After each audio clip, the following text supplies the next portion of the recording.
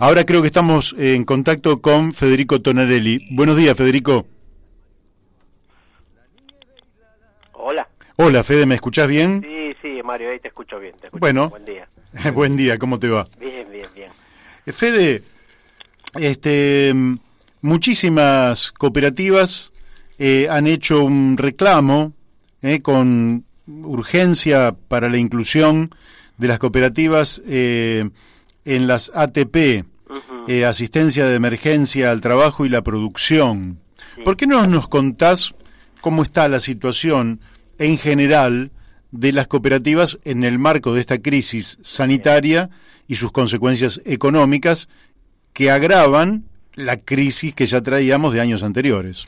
Claro, Mario, nosotros venimos, vos bien lo dijiste, venimos de cuatro años tremendos recordemos el tarifazo de más del mil por ciento, eh, bueno, la inflación, la baja del consumo, el retraso en salarios y en jubilaciones, un, un sinfín de cosas que tenían que ver con el plan económico que se aplicó durante los cuatro años del macrismo, que ya habían puesto a las cooperativas y a la economía en general en serios problemas. Así es aparece esto que nadie tenía previsto que pudiera aparecer efectivamente. Nosotros hemos dicho hasta el cansancio que apoyamos el aislamiento social y preventivo, que no creemos en esa dicotomía entre salud y economía.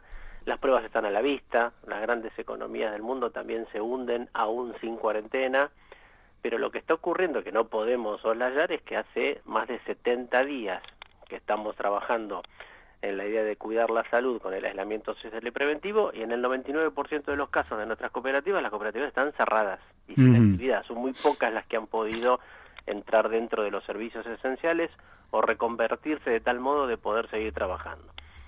Esto está provocando un impacto económico tremendo. Imagínate, yo trabajo en la cooperativa del Hotel Bau en más de 70 días con facturación cero, mm. acumulación de cheques rechazados de compromisos que no hemos podido asumir, acumulación de deudas de servicios, de impuestos, en fin. Lo mismo que le pasa a cualquier pequeño comerciante a, cual pequeño, y a cualquier pequeño y mediano empresario. El gobierno, a partir del Ministerio de la Producción, ha tomado medidas en favor de los, de los monotributistas y nosotros pensamos que por la eh, obligación que por ley tenemos para estar asociados al monotributo en la seguridad social, entendieron que la asistencia a la cooperativa ya estaba dada. Recordemos el ingreso familiar de emergencia, los préstamos a tasa cero, etcétera. Pero nosotros en realidad siempre hemos pedido, y esto no tiene que ver ni con el gobierno, ni con el anterior, ni con el anterior, siempre hemos tenido el pedido de un régimen propio, porque nosotros de, de mono, de trabajador autónomo, no tenemos nada, tenemos compañeros, o sea, cooperativas que eh, superan los 100 trabajadores con holgura y que tienen niveles de facturación muy superiores a algunas pymes. Entonces nosotros entendemos que hay una dicotomía, no se entiende exactamente que el trabajador autogestionado que se asocia en cooperativas es parte de la cadena de la producción de bienes y servicios de la economía nacional y que se la debe asistir del mismo modo que se las asiste a las empresas. Entonces, en nuestro caso no existe la figura del empleador-empleado. Somos trabajadores asociados, somos gestiones de trabajadores, gestiones obreras, en fin, hay infinidad de maneras de caracterizar a nuestras empresas. Claro. Nosotros lo que estamos pidiendo es, si se asiste a un empleador para el pago de esos salarios que no puede asumir producto del parate económico, del mismo modo se tiene que asistir a las cooperativas de trabajo, en este caso no para el pago de salarios, nosotros no tenemos salarios, tenemos como retiros mensuales de ese excedente que va generando la cooperativa el excedente no se está produciendo justamente por el parate. Entonces no podemos ni asumir los compromisos empresariales, que te decía recién, proveedores, servicios, impuestos, ni tampoco retirar mensualmente parte de ese excedente, lo que sería el equivalente al salario de un trabajador nuestro, y la situación es angustiante porque en confianza nos hemos sentado sobre los fondos de los cuales disponían las cooperativas para ese reparto, ya no mensual, sino semanal durante estos días pero esos fondos se han acabado y entonces los, los trabajadores de las cooperativas de trabajo están ingresando en una seria dificultad, Mario, sin exagerar, para poder comer, para poder continuar con el aislamiento en sus casas y poder disponer de lo mínimo para poder subsistir. Por eso el reclamo que venimos haciendo desde hace semanas y que como todavía no fue escuchado, lo, lo planteamos ayer en esa solicitada que salió en el diario. Hola, ¿cómo estás? Daniel de Abrantes te habla. ¿Cómo andas, Daniel? ¿Cómo estás? Bien, lo más bien. Te hago una pregunta. Eh, en el Instituto Nacional de Asociativismo y Economía Social está eh, el amigo Mario Cafiero. Eh, ¿Han podido hablar con él? ¿Qué les ha dicho sobre este tema? ¿Le está dando alguna alguna respuesta? ¿Están haciendo algo desde el instituto? Sí, sí, sí. Nosotros estamos en contacto con Mario, como bien dijiste, es un compañero, él está elevando el reclamo. Lo que nos parece a nosotros, y esto corre por nuestra cuenta, digamos, es que recordar, Daniel, que el INAES pasó repentinamente en estos meses del Ministerio de Desarrollo Social al Ministerio de Desarrollo Productivo. O sea, ahora está colgado en un organigrama de un ministerio al que no pertenecía porque estaba en desarrollo social desde hace añares. Entonces también el instituto se está acomodando a la nueva realidad de pertenecer al Ministerio de Desarrollo Productivo, cosa que nosotros habíamos solicitado durante muchísimo tiempo y con el cual estamos de acuerdo. Pero entendemos que hasta que se acomode un poco todo, la pandemia nos agarró a todos sin la más mínima previsión, obviamente. Sí. Y Mario al frente del instituto también está trabajando en ese sentido y llevando o trasladándole al ministro y a su gabinete eh, este reclamo que hacemos las cooperativas de trabajo. Hay relación con el INAES, con Mario en particular, y ellos están al tanto de todo esto. Lo que queríamos hacer era expresarlo públicamente como para que el reclamo fuese más contundente, nada más. Y Fede, eh, desde el punto de vista eh, económico, ustedes más o menos son 15.500 trabajadores. Sí, exactamente. Sí. eso no, no tendría que tener dentro de la magnitud de la emisión monetaria a la cual se ve obligado el gobierno por estas circunstancias, emisión que hoy no discute absolutamente nadie, ¿eh? porque hace a, la supervivencia de la sociedad en su conjunto, lo que ustedes están requiriendo es una ínfima parte. Sí, sí, nosotros incluso, como siempre se termina hablando de números, nosotros queríamos también graficar lo que nos pasaba y a la vez traducirlo en números. Bien. Expresar la cantidad de cooperativas de trabajo devenidas de procesos de recuperación de empresas, o sea, viejas empresas de capital que quebraron y que fueron reabiertas en cooperativa, y además sumar al resto de los cooperativistas de trabajo, que son las cooperativas que se armaron a partir de los programas de asistencia o de decisiones de otro tipo, de un grupo de trabajadores. Por ejemplo, nosotros en nuestra federación tenemos un estudio de arquitectura son compañeros profesionales que al armar su estudio, en vez de armar una empresa de capital, se decidieron por asociarse en una cooperativa de trabajo. Todo ese universo excede los 150.000 trabajadores. Nosotros cuando planteamos decimos, hay 15.500 aproximadamente en empresas recuperadas, cooperativas de trabajo de empresas recuperadas. El universo total asciende a 150.000 aproximadamente. Aún así, yo coincido con vos, Mario, los números eh, no, no, no deberían ser un inconveniente. Lo que pasa que yo en esto nosotros lo planteamos no desde la voluntad política, porque entendemos que la hay, o esperamos que la haya, eh, pero entendemos que hay como una como una, una, una, cuestión que viene de años y es no entender exactamente que gran parte del trabajo, a partir de la concentración de la economía, de la desocupación galopante en todo el mundo, de la revolución tecnológica que va dejando a trabajadores sin empleo, el cooperativismo de trabajo empezó a ser una herramienta, en principio, utilizada en épocas absolutamente críticas, pero a partir de ahora se empezó a constituir en un sector más de la economía y hay que romper un poco con ese viejo dogma de que el trabajo solo es asalariado o autónomo. Bueno, es asalariado, autónomo y también asociado en cooperativas de trabajo y hay que asistirlo como tal. Y nos parece que la gente del Ministerio de Desarrollo Productivo todavía no ha entendido esto de la mejor manera y por eso el reclamo que estamos haciendo. Sí, yo históricamente, históricamente no me refiero a nada en particular hoy, creo que este, el cooperativismo eh, tiene una fuerza por su naturaleza, eh, que se va a ir extendiendo en los próximos años y que algunos efectivamente tienen interés en que esto no ocurra. Y entonces este, esa cultura solidaria, participativa, democrática, igualitaria, que conlleva la participación en una cooperativa donde todos pueden opinar, donde todos pueden votar, donde todos tienen su voto, me parece que es una cultura que a algunos evidentemente no les gusta.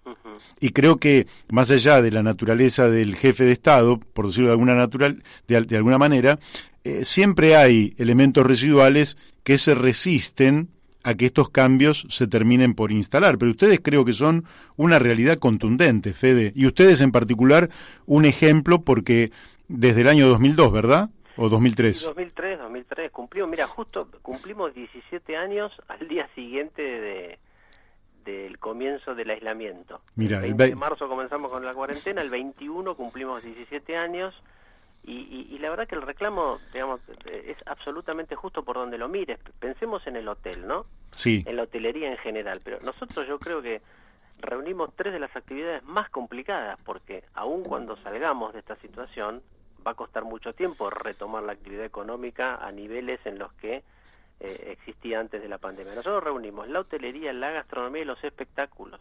Claro. Tres actividades tremendamente afectadas por esto. Entonces, es cierto que el hotel como empresa cooperativa no puede asumir sus compromisos empresariales. Y también es cierto que no puede repartir excedentes entre sus asociados porque no los tiene. Mm. Entonces necesitamos la asistencia de uno o dos salarios mínimos, al igual que aquellos empresarios que tampoco han podido pagar salarios, y después también nos tenemos que poner a pensar en créditos blandos, en subsidios para las que estén más complicadas, en fin, porque si no va a ser muy difícil arrancar sin un solo peso y sin capital de trabajo. Fede, te hago una pregunta. Eh, la ciudad salió a contratar eh, hotelería por el tema de los enfermos y sospechosos de COVID.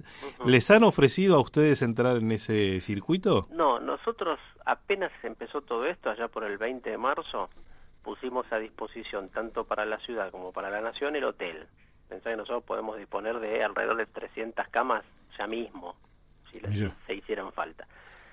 Con Nación hemos entrado en el listado de hoteles sindicales, entendemos que, como bien se dijo, se aplanó la curva, el pico no llegó, etcétera, etcétera, y no, no debe haber hecho falta. Y por otro lado nos alegra, nadie quiere que la gente se infecte.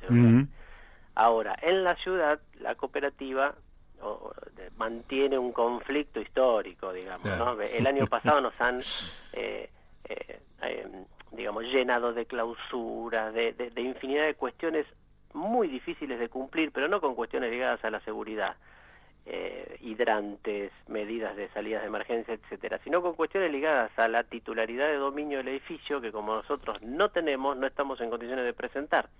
Y eso le dio lugar a la ciudad a realizar todo tipo de clausuras. Nosotros entendemos que el tema excede lo formal y lo administrativo, es un tema de carácter político y por otro lado les cuento también que dentro del mundo hotelero los hoteles que se han puesto o que se han contratado en un principio no eran los hoteles de nuestra categoría, se arrancó como suele hacer el macrismo por los hoteles de mayor nivel y después en la medida que había más demanda se fue bajando de cinco estrellas a cuatro a tres pero aún así yo creo que nos van a poner últimos en la, lista. ¿Y el, ¿Y el Bauen en cuántas estrellas está? No, hoy estamos en tres estrellas. Pero el reclamo, porque te imaginas que nosotros, más allá de ser cooperativa, tenemos toda una relación con hoteles cercanos a donde estamos, porque en hotelería ocurre que muchas veces vos no tenés disponibilidad y derivás pasajeros a otros hoteles y a la inversa. Claro.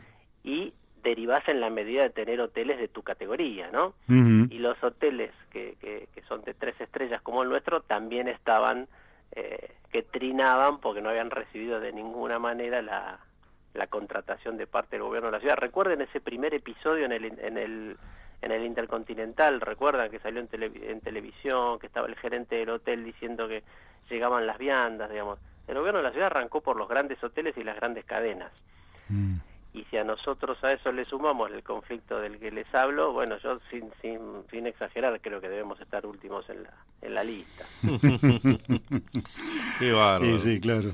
Difícil.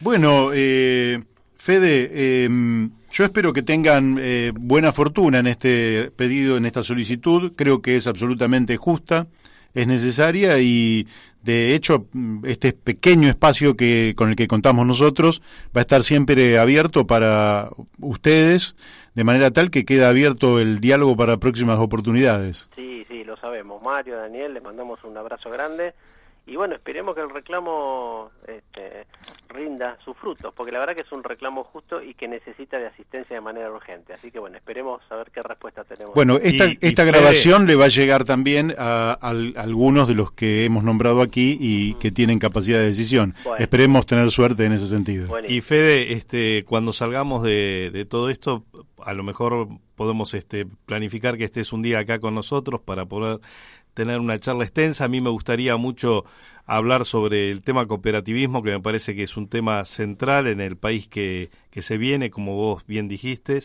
Y este, nosotros acá desde, por supuesto que reivindicamos las ideas de justo en torno al cooperativismo, pero además estamos mirando con mucha simpatía y atención las nuevas ideas del, del siglo XXI, a Jeremy Rifkin y bueno, las cosas que se están planteando en torno a, la, a, los modelos cooperativos y asociativos en el mundo. Y creemos que hay que difundir todo esto. Bueno, Daniel, buenísimo. Entonces quedate tranquilo que en cuanto podamos nos vemos ahí en el piso. Bárbaro. Fuerte abrazo. Muchas gracias. Bueno, hemos hablado con Federico Tonarelli, ¿eh? este, de la cooperativa del Bauen y además de ese conjunto enorme de cooperativas que han salvaguardado una parte muy importante del trabajo y la producción en la Argentina.